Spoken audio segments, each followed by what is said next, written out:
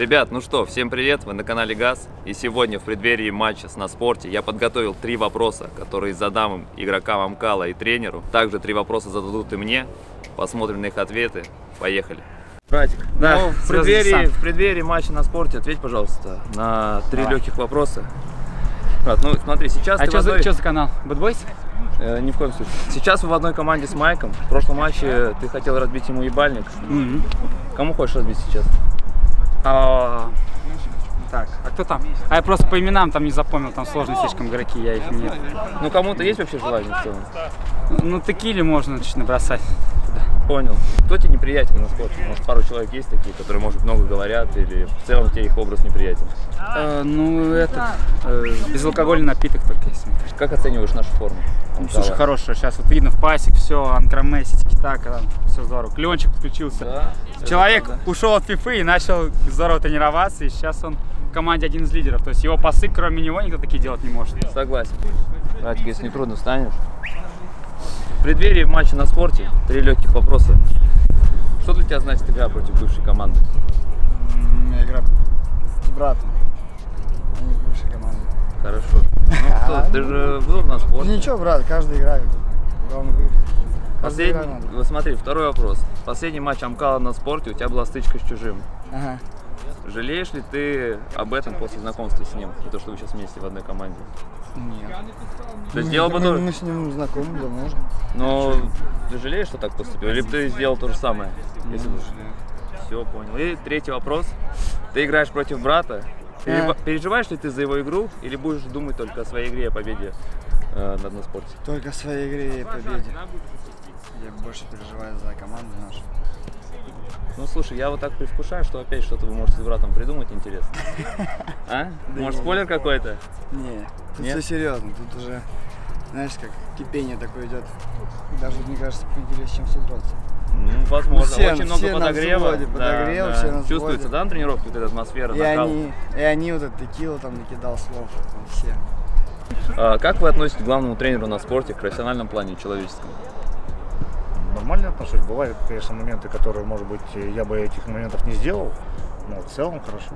За счет чего у команды на спорте есть маленький шанс обыграть Амкал? Но это надо, наверное, у них спрашивать. Вот, я, я не знаю. Есть у них, э, опять же, неплохие игроки э, в середине поля, которые могут сделать и диагональные передачи, ну, любые передачи.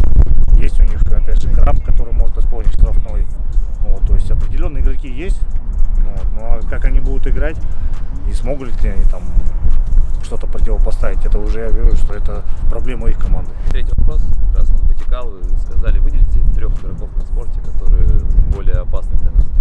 Ну, я уже назвал, наверное, Крапивникова. Все-таки, наверное, выделил Тарасова. Наверное, Володю XXL. Ну, вот. Это, опять же, два атакующих игрока и тот человек, который может, опять же, отдать передачу Тарасов, я имею в виду. Вот. Любую передачу сам пробить. Высокий рост, головой неплохо играет. Поэтому, ну, наверное, вот этих игроков будет. Ну привет. Ну привет, преддверии матча на спорте. Три Да. легких вопроса для тебя.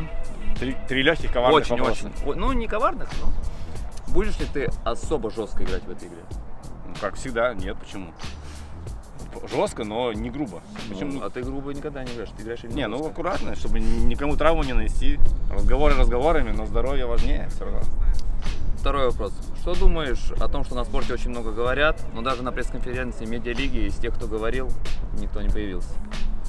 Слушай, ну я не был на пресс-конференции медиалиги, поэтому не могу прям адекватно ответить на этот вопрос. Они много энергии потратили на разговоры в нашу сторону.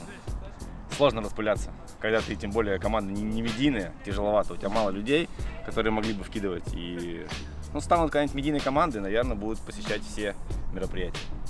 Справедливо. И третий вопрос, очень легкий. Как оцениваешь футбольные навыки Текилы? Слушай, Я думаю, даже отдельный ролик сделаю, карточку его создам. Там мы посмотрим, надо разобраться все-таки. Так с плеча рубить не стоит, конечно. С виду кажется, что посторонний человек мимо проходил, бутсы дали, вышел на поле. Ну, надо разобраться, а вдруг нет. Вдруг это кажется мне. Все проверим. Герман Владимирович, ну, втянул ты всех вообще в эту заварушку, поэтому в преддверии матча на спорте Так. три легких вопроса для тебя. Погнали. Твои ожидания от этого матча? А, нужно обязательно победить. хочется красивый футбик показать и поставить на место. Все очень просто.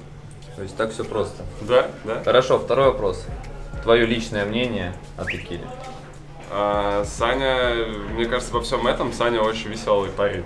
Правда, я, ну, я к нему точно не испытываю какого-то негатива, но меня очень э, забавляет то, как он бифит. Ну, то есть, типа, мне прям очень рофильно, очень смешно это, потому что у него его аргументы всегда очень-очень забавные. И плевать, что они расходятся с фактами, пофигу. Вот. Но он вкидывает, видишь, но все равно Ну, это мне поджигает, кажется, правильно? Мне кажется, что не будь текилы, матч был бы максимально скучнейший, учитывая, что там а, звезды другие вообще не, не, не- даже не рядом с полем. То есть они только на обложке Ютуба, там, Ну, например, например, да? да? Ну, то есть, типа, там, я бы с удовольствием, я могу написать что-нибудь там Дани Милохина, но он не приедет, он даже не знает, наверное, что матч 17 числа. Вот. Понял. Третий вопрос. Одни из главных звезд э, команды на спорте, как и в футбольном, так и в медийном плане, Краб и Володя XXL, в последнее время попадают в какие-то казусы, не очень приятные Из-за этого. Майк попадает в казусы с Да. Прокопом даже. Ну, твое мнение, что ты думаешь об этом? Ну, ничего, что я думаю. Я, наверное, а, ну, я видел видос Егорова, где он про вот это, молодые рок-звезды, все дела, ро- рок-звезды. Ну ты как, не осуждаешь или ты думаешь, что, что это там возраст Ну- или у ребят просто сорвало крышу от денег и славы?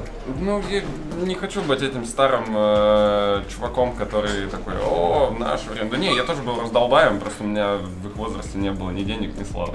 Вот, поэтому... Ладно, а такой вопрос. А салют ты любишь? Салют люблю. Салют люблю, но не в жилом квартале.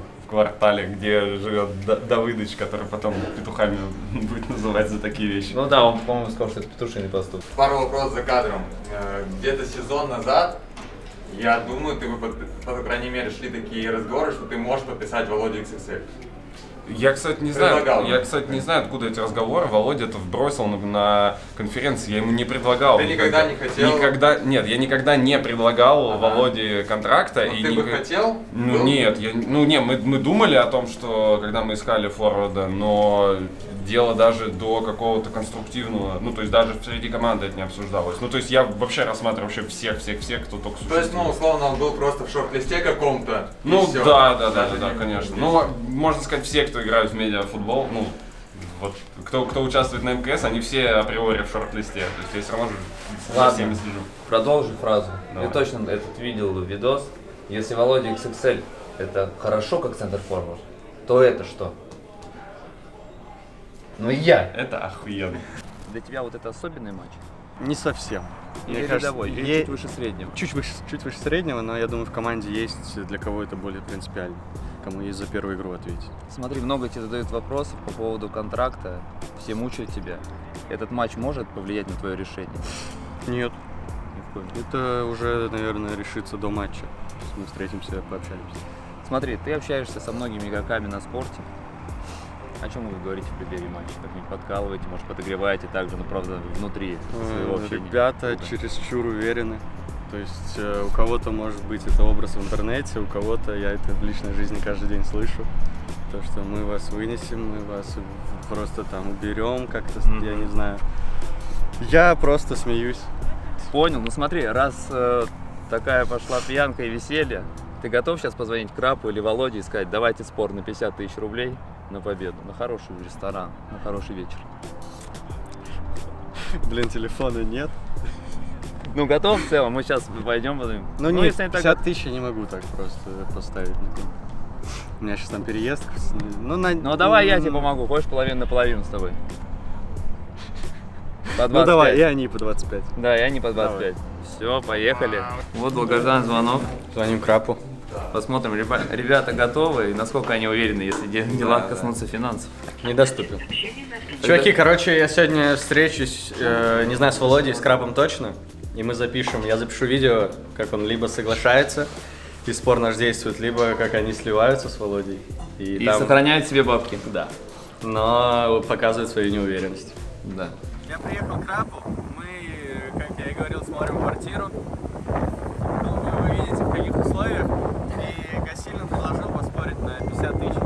Газом по 25 и с Володей.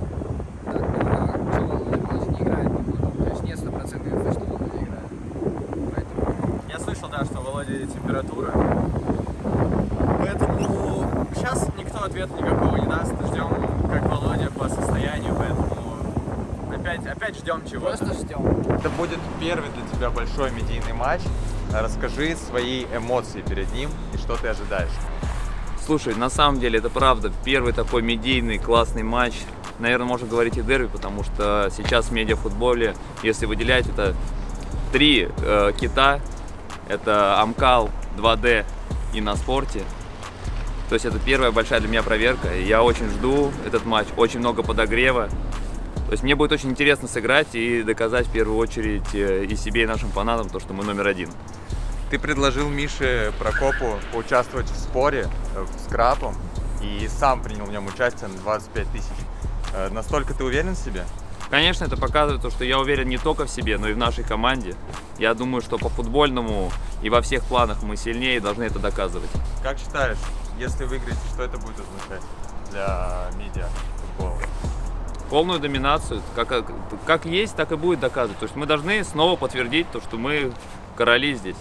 Вот и все. Разговаривать можно много, но иногда надо людей ставить на место не только разговором, но и делом. Поэтому на футбольном поле 17 числа на Сапсан-арене все решится.